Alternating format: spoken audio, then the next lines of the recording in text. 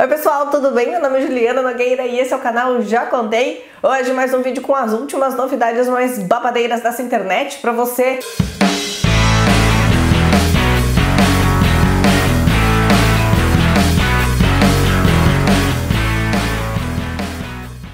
Já sabe que clicar em gostei é super importante, então não perde tempo. Tá fazendo o que aí parado? Clique em gostei, isso é super importante pro canal. E agora já sabe também que tem que mandar esse vídeo para todo mundo, né? Afinal de contas, treta boa é treta compartilhada. Manda para todo mundo que assim todo mundo fica sabendo das tretas da internet, todo mundo fica inteirado sobre o que rola de mais polêmico por aí.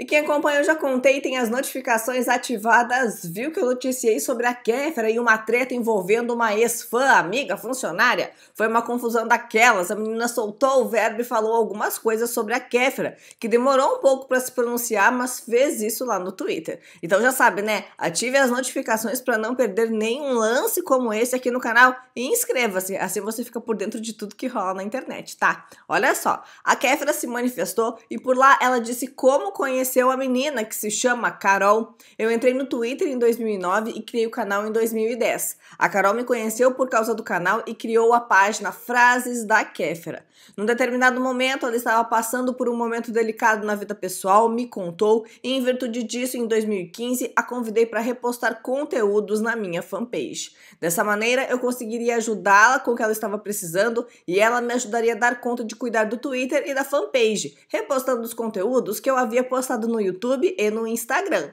Isso por duas razões. Primeiro, porque ela já fazia diversas coisas por conta própria, como por exemplo administrar páginas de fã-clube, e segundo, porque eu não estava dando conta de me dedicar direito a todas as redes e ficar horas por dia alimentando de diversas formas cada uma. A Kéfera disse que ela era uma fã muito presente e que estava em todos os momentos e em todas as postagens, e por isso elas se aproximaram. Disse também que demorou a publicar esse pronunciamento porque estava digerindo tudo que soube e todas as histórias que os fãs contaram para ela e que ela não sabia.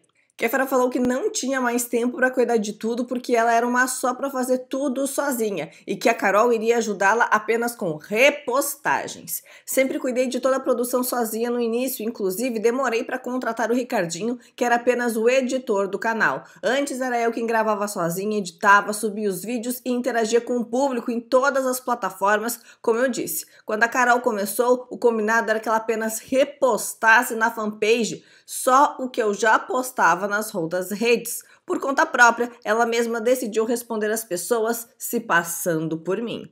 Eu pedia para ela compartilhar comigo tudo antes de postar, porque o objetivo principal era somente repostar o que eu postava. E desde então foi assim. Ela tomava as atitudes que achava que deveria e eu só sabia depois que havia sido feito. Apesar disso, confiei, porque era ela quem estava monitorando a fanpage até então em um grupo de fãs no Facebook. Só que eu e a minha equipe começamos a receber alguns pedidos de fãs que nos escreviam por e-mail ou que mandavam directs contando que tinham sido bloqueados ou mutados sem entender o que teriam feito para que isso ocorresse. Isso aconteceu algumas vezes e mais recentemente ela havia excluído uma pessoa da minha equipe que cuidava da segurança da minha conta da fanpage, sem ao menos me consultar nem consultar a minha empresária. Na sequência, recebemos novamente contato de fãs via e-mail questionando atitudes tomadas no Twitter. Meu time se reuniu e entendeu que não fazia mais sentido seguir dessa forma. Vários fã-clubes no Twitter foram desativados por conta de discussões que ela arranjava em meu nome e eu só fiquei sabendo disso agora. Me lembro de vezes que pedi para ela parar de responder às pessoas de maneira grosseira ou dar RT em conteúdos que eu não concordava. Eu entrava no Twitter e desfazia o RT ou apagava alguns tweets. Além de tudo isso, nas últimas semanas ela removeu sem autorização prévia o administrador da conta da fanpage que cuida da segurança daquela conta, que é de minha confiança.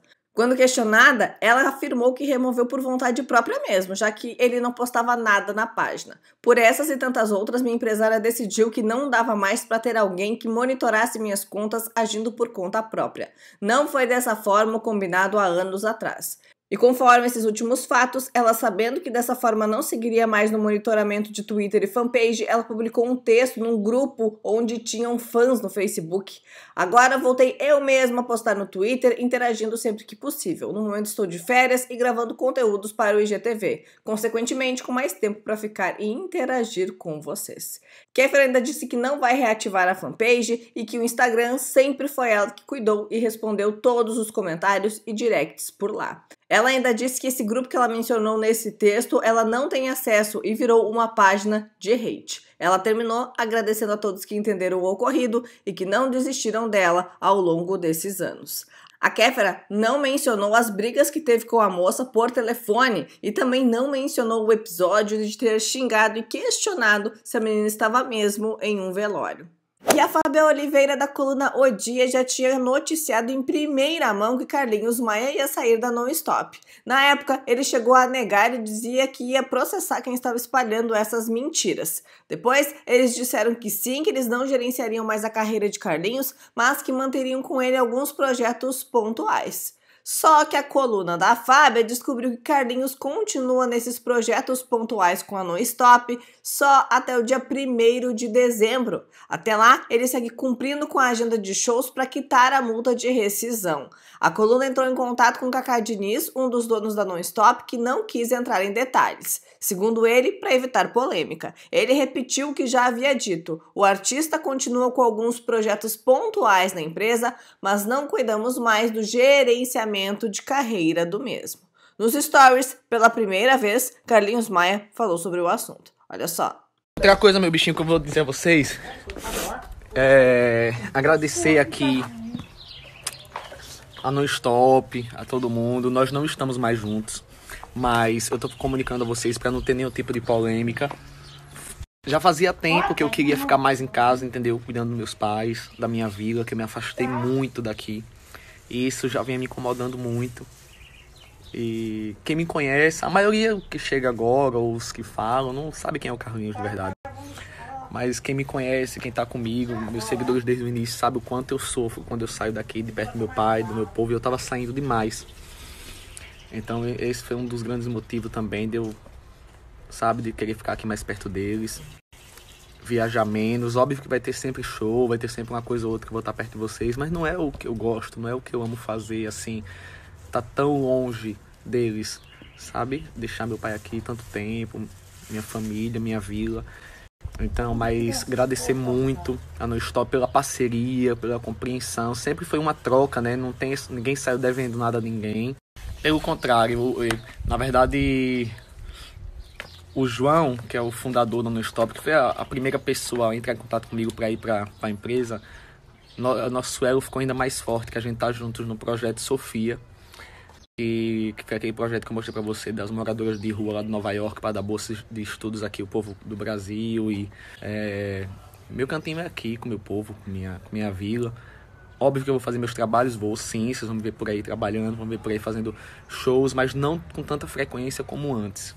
Porque depois de tudo que eu vi e vivi, de todos os aprendizados que eu tive esses últimos meses, isso aqui é a minha vida, não isso aqui. Isso é, isso é uma parte dela, muito pequena. Isso aqui é a parte maior. E quer um conselho para vocês? Tá na hora de parar de julgar tanto. Vamos esperar acontecer mais o quê? Sabe? Vamos aproveitar os pais de vocês, a família de vocês, porque por um por um por um triz a gente vai embora. Não fica nada. Vaidade, carro, dinheiro, inveja, tudo. Vou cuidar.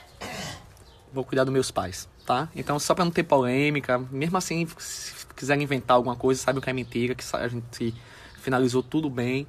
Só quero estar no meu cantinho mesmo e desejando sucesso a todo mundo. E tá loira, Tiago Silva e a esposa Isabela estão passando férias. Ela, que é digital influencer e tem mais de 300 mil seguidores, foi assunto nas redes sociais. O motivo foram alguns stories que ela fez falando sobre o caso Aline Araújo. Depois da repercussão negativa, ela apagou e ainda disse: difícil, viu? PQP. Os stories polêmicos foram esses. Olha só. Tal. Mas, enfim, não fez, amarelou, né, amiguinho? Deu mole. Mas daí ela se matar, amor, aí não é culpa dele, né? A culpa é só dela. E infelizmente ela optou por isso, porque, gente, suicídio é o único pecado que não tem perdão, tá? Vai queimar no mármore do inferno, infelizmente. Eu até entendo a depressão, isso aí não é escolha, isso aí é uma, é uma doença super, hiper grave. Lá. Bom, pessoal, essas foram as novidades quentinhas que estão rolando na internet pra você. Clique em gostei porque é super importante. Eu ainda apareço neste canal hoje, então ative as notificações pra não perder nada, tá? Tem mais vídeo vindo por aí com mais babados. E eu digo que tá babadeiro. Eu vejo vocês no próximo vídeo. Até lá! Não vá embora antes de clicar em gostei e compartilhar esse vídeo, por favor, tá bom? Fez isso? Agora pode ir. Até o próximo vídeo. Tchau, tchau!